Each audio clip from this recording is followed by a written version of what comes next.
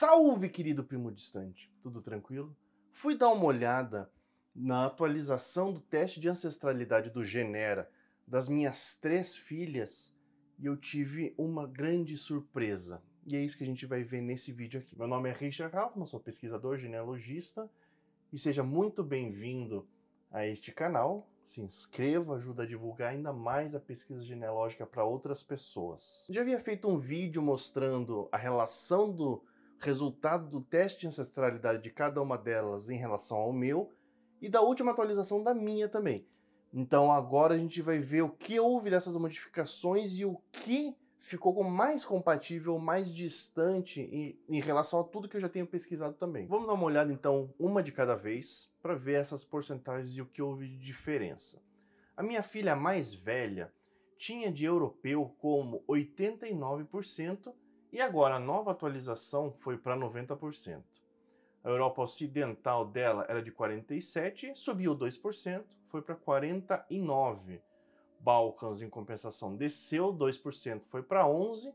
Ibéria de desceu também 2%, indo para 7%. Leste europeu se manteve. Fenoscândia se manteve. Itália subiu 2%, de menos 3% que tinha, para 5%. Os demais, Sardenha, inclusive América, se mantiveram. E por último, a África diminuiu 1%. Lembrando só o seguinte, que eu, quando eu olhei, eu fiquei até com dúvida, porque vocês vão ver que daqui a pouco as porcentagens parece que não batem. Parece que se for somando elas, não bate. É porque aqui, obviamente, está arredondado, né? Então, é 1%, mas às vezes é 1,89% ou 1,03%. Aqui está arredondado para um número inteiro, então não dá para a gente fazer um cálculo tão preciso dos resultados. A minha segunda filha tinha 83% de Europa e subiu 9%, indo para 92%. Aqui vai, aqui que gera esse conflito, né? Então, Europa Ocidental desceu 1%, foi para 45%. A Ibéria, leste europeu, a Ibéria e leste europeu desceram, a Ibéria 2% e leste europeu 1%. Em compensação, Balkan subiu 2%, Fenoscândia subiu 1% e Basco subiu 1%. Os demais, Cáucaso, Sardenha se mantiveram, Itália acabou sumindo ali. Quando a gente soma as porcentagens, não chega a 9%. É aí que entra aquela história que eu falei, das, depois, que vem depois da vírgula. Né? A América também diminuiu 1%, de 9% para 8%. E agora, lembrando só que a judaica agora não é mais um uma etnia inteira como os outros, como o Oriente Médio, como a América, agora ela faz parte de outros, ela é um subgrupo agora, né? Então, o judaico da minha filha número 2, ela diminuiu, ela era 7%, foi para menos de 3%. O Oriente Médio e Maghreb simplesmente desapareceu. Em relação à minha filha mais nova, também aconteceu algo semelhante. Ela tinha 83 de Europa, subiu 9%, foi para 92%. A diferença é que aqui o Europa Ocidental é que subiu 6%. Foi uma subida, acho que é a mais drástica de todas. Leste europeu diminuiu 2%, Balcãs se manteve, Ibéria diminuiu 3%, Basco subiu 1%, assim como Fenoscândia foi, Itália e Sardenha se mantiveram. Américas diminuiu 1%, a Judaica foi de 7 para 6, para 6 e Oriente Médio se manteve. A África foi eliminada do resultado dessa minha filha. Pontos que eu gostaria de entender melhor aqui e eu tenho observado, né?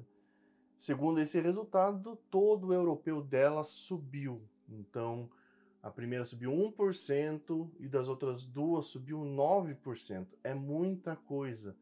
Em compensação, o América delas, da primeira, se manteve em 9% e as duas outras caíram, sendo que elas estão próximas a 10% ali, né? 9, 9 e 7, 9, 8, 7%. Então é algo relativamente baixo. E esse resultado das Américas tem ido muito para cima, porque o meu é menos de 3%, vai bastante para cima, provavelmente por causa da mãe delas. Um ponto que eu acho que foi bem expressivo ali é a subida do item Itália, do grupo do subgrupo Itália, na minha filha número 1, que antes era menos de 3% e agora passou a 5%. Em compensação, na minha filha número 2, a Itália, o subgrupo Itália, desapareceu. E na outra filha, na filha mais nova, ela se manteve abaixo de 2%. Isso porque a mãe delas tem uma origem grande italiana. Outro ponto interessante aqui é um subgrupo aqui que é curtir este vídeo. Se você ainda não curtiu esse vídeo, curta, que ajuda a ampliar a divulgação desse vídeo do canal. Outro ponto aqui que me chamou atenção é justamente o subgrupo Ibéria, todos eles caírem. Primeiro 2%, a segunda 2% e a terceira 2%.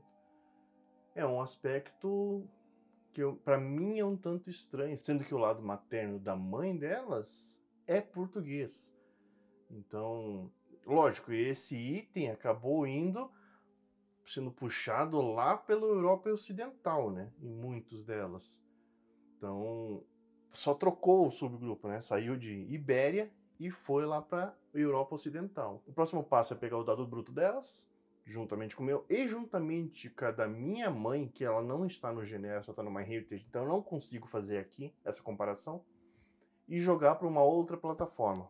Vamos tentar ver, de repente, um GetMatch, jogar para o Telmo Gen e ver o que, que a gente pode observar melhor aí em relação também avó delas. Esse tipo de análise eu gosto de ver não somente para cima, mas eu gosto de ver isso, o que, que é transmitido da gente para os nossos descendentes, não somente em relação aos ascendentes.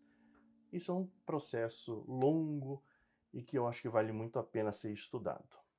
Grande abraço.